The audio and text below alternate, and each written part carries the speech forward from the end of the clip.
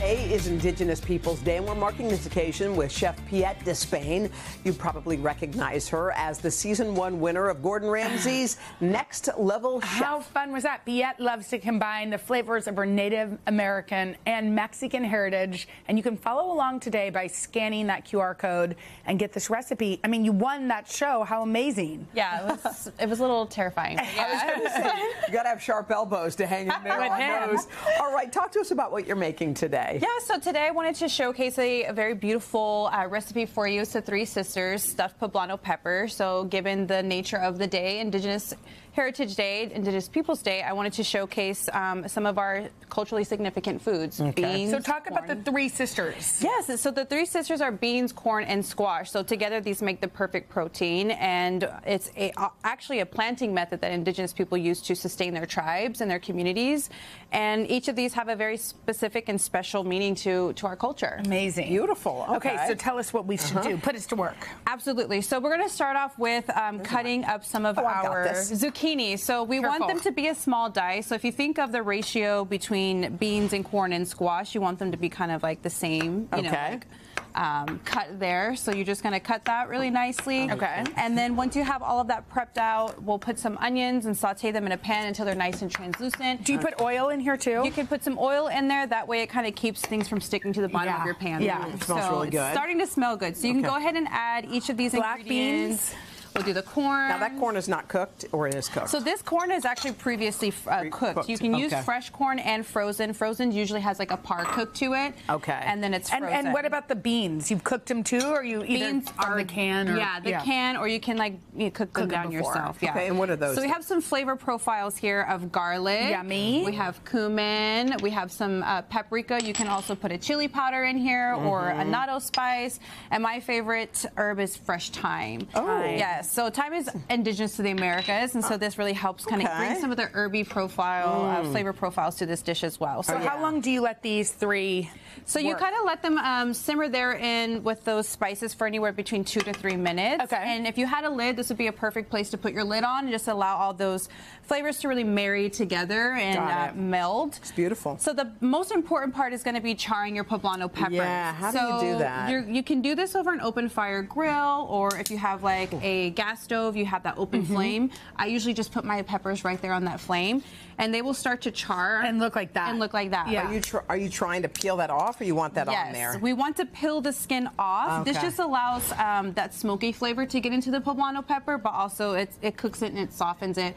Once you start to uh, put into a bowl or a Ziploc, you can steam it, which makes the skin easier to peel off. Come off. okay, Yeah, you can hear it popping. Exactly. Yeah, I know. I You kind of love that. Yeah. The smell. It smells great. the We were saying though, tell uh, one and how many peppers is Yeah, spicy. about one and seven of the poblano You know, it's peppers like will be really random? spicy. Well, it's like Yeah. shishito. You know, have you ever had the shishito where all of a sudden you, get a hot one? But you don't know. You don't No. know. Okay, Peppers that are- is they- random. That's how peppers, are. Peppers They're are crazy. beasts of their own. Okay. You have to be careful with them sometimes. Okay, so here we go. This is peeled, right? Yes. So once you peel it, you can use your hands or even Okay. a paper towel and Okay, just kind of scrape, scrape it off off. the stuff. And then you want to remove like the little seeds and the membranes Yeah, that are the hot stuff. inside. 'Cause that could make it Exactly. spicy. So here you just kind of like put a slit down the side and you can get Fill your it. filling there and just stuff the poblano pepper. I'm going to have you do this part too. Okay. Okay. So that way you can get some practice in. So when you Yeah. do this at home, So we know how to you do do that at home tomorrow Yeah. for kids. Exactly. Yeah. And it usually takes about like, you know, two to three of those spoonfuls. So you fill it all. Okay, You want to fill it all fill it fill. Exactly. And are you going to cook it again, or is that? So you can actually eat them just like Oh, just if like you wanted that. to, Yeah. because everything's cooked. But I like to stuff them, uh, put them into a, Yeah, a little bit an more. oven and roast So they're them. warm. Exactly. Okay, tell us about the sauce you're making. So this is going to be a raw pumpkin seed crema, um, a sauce that goes over these beautiful uh, stuffed poblanos. It's kind of like the cloak that, you know, covers these beautiful ingredients. So I soak A my pumpkin seed. Pumpkin seed. This is so crazy. I love it. It's even heard of different. that. Yeah, I love that. Okay. Okay, so you put the pumpkin seeds. Yes, that you you put the soaked pumpkin seeds that you've soaked either overnight or you can get boiling hot water and soak them for about four hours. It Okay. just softens them Okay. because if You you, wanna feel the grind them. texture, they're Yeah, a little dry. too dry. Yeah. When you have them soaked, it just allows them to like Mm-hmm. break down a lot faster.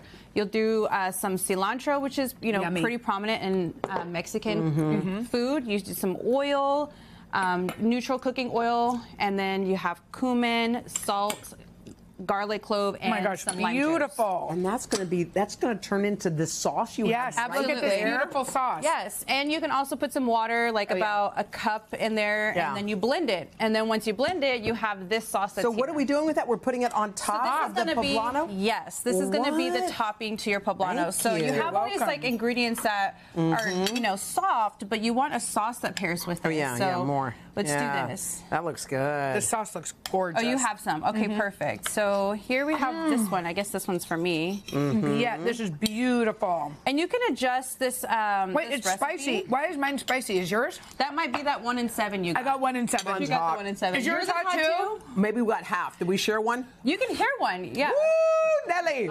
You both got the spicy peppers. Girl. A good Something way to garnish these also is doing some toasted getting pepitas on the top. Something hot just happened in my mouth. Yeah, this is beautiful. And also, you have this gorgeous dessert, which you could serve with it, right? Yes, so the this is called wojapi and a sweet corn cake. Oh my gosh, she's really going in back What is there. this? Whatever we had was hot. Drink it. Yes. What is it? And so this I'm eating the is cake. Kombucha. It doesn't matter. kombucha. Oh Oh, my god, this combination is going to be really intense. Oh my gosh. Have you ever had kombucha before? This Oh. is real weird.